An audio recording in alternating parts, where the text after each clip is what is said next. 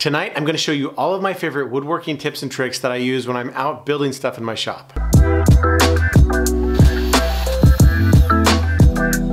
One of the ways you can tell an experienced woodworker is they usually have a lot of tips, tricks, and other secrets that they have for building projects that make it a lot easier. So what I'm gonna show you tonight are some of the tips and tricks that I use regularly in my shop to be able to get things done faster and to be more efficient. The first couple tricks I'm gonna show you involve a lot of blue tape.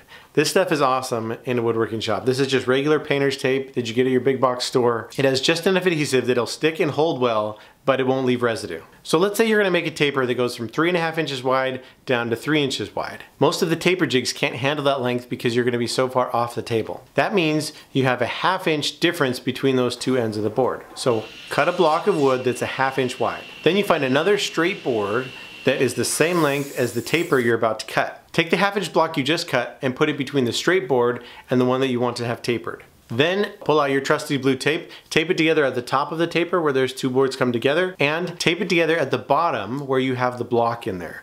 You need to tape it so that block stays in place. Wrap that around a couple times until you have it nice and secure. It doesn't have to be pretty, but it does need to be flat on the bottom because you're gonna run this through a table saw. Then you set your table saw fence to be the exact width of the two boards that you have taped together at the top. That way, when you start cutting your taper, you'll start at the three and a half inch end and you'll cut all the way down straight and at the other end, you'll end up with three inches. That will give you your perfect taper. I've used this method for cutting a lot of different lengths of tapers. The longest one I did was about six feet and it worked perfectly. The next tip also involves the blue tape. If you're trying to cut out curved shapes that need to be exactly the same, this trick is one of my favorite go-tos. Take all the boards that you want to be exactly the same and tape them together in multiple directions. This makes sure that they stay aligned while you're cutting. Now take it over to your bandsaw or your jigsaw and cut out that shape. Then with your tape still on, you can take it over to a sander and sand down all of the edges and all of the contours to get these two exactly the same. I tried doing this on a shop organization project that I was doing where I was taping together seven different shelves. I did it in all directions and then I cut them out on the bandsaw, I went and sanded them on the sander and they came out exactly the same.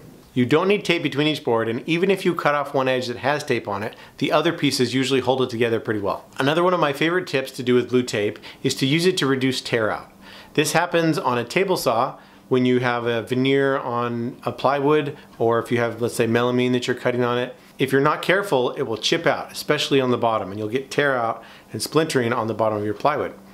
So if you take blue tape and you put it exactly where your cut's gonna be so that you're cutting through that blue tape, it significantly reduces that tear out and you'll have a much cleaner cut. This can also work on the miter saw if you find that it's tearing out a lot too. Another thing you can do to reduce tear out on your miter saw is you can put a temporary backer board and baseboard on your saw so that when you cut through it, you cut through those backer boards as well. And that makes it so you have a nice clean zero clearance edge and a nice clean cut. If you don't have time for any of that, or like I often do, you just forget until you're actually cutting, then the best advice I can give you is just slow down. Take the cut nice and slow, not stopping because that'll burn it, but slow enough that you get a nice clean edge and you go through that and it won't tear things out. Since we're talking about tear out, I have another tip for that. And this is useful for your router table. I find I get the most tear out on the router when I'm doing something with a complex router bit, like a rail and stile bit. This happens especially when you're going across the grain because those fibers are going like this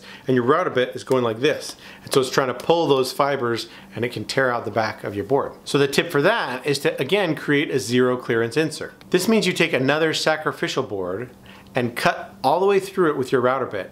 Then when you put your actual piece on to cut through, it'll cut through nice and clean and it won't tear out the back of your finished board. Now this next tip is a table saw tip. Let's say you're like me and you've survived most of your life without making a crosscut sled.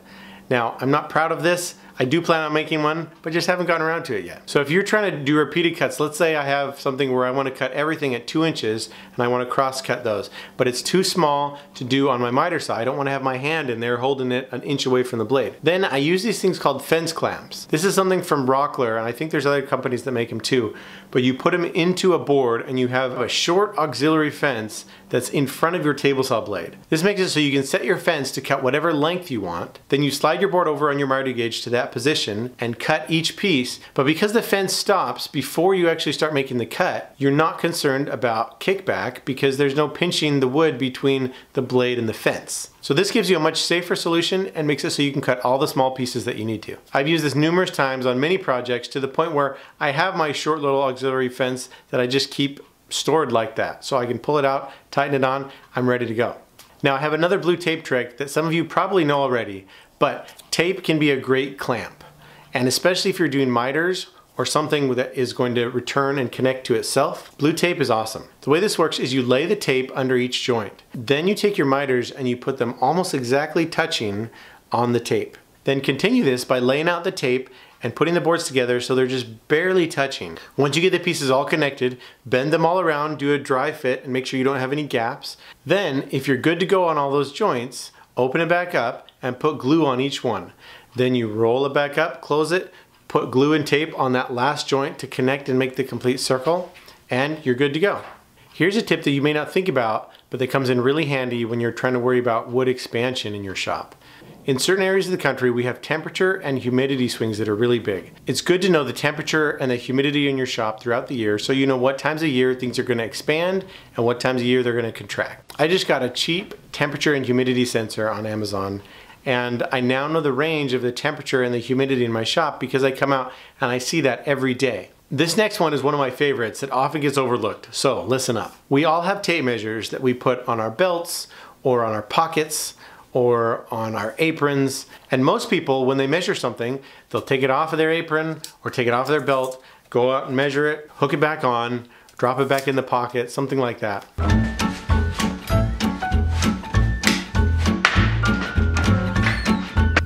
But there is another trick with tape measures that's gonna blow your mind. Are you ready? Leave it connected. What? Don't take it off your belt. The tape measure will automatically retract. So you pull it out, Mark whatever you need to mark. When you're done with it, just let go and it'll go right back to where it should. It's a beautiful thing. I hope this has given you some ideas to improve the efficiency in your shop. I'm also pretty sure that most of you have things you do in your shop that are tips and tricks that we could all benefit from as well. So please add those in the comments. I'd love to hear your ideas. I'd love to hear the things that you guys come up with or that you do in your shop that maybe I hadn't thought of in my shop. Please comment and read the comments and then we can all learn from the tips and tricks that we all have and we can share them with each other and everybody will get better. Now, go build something and we'll see you next time.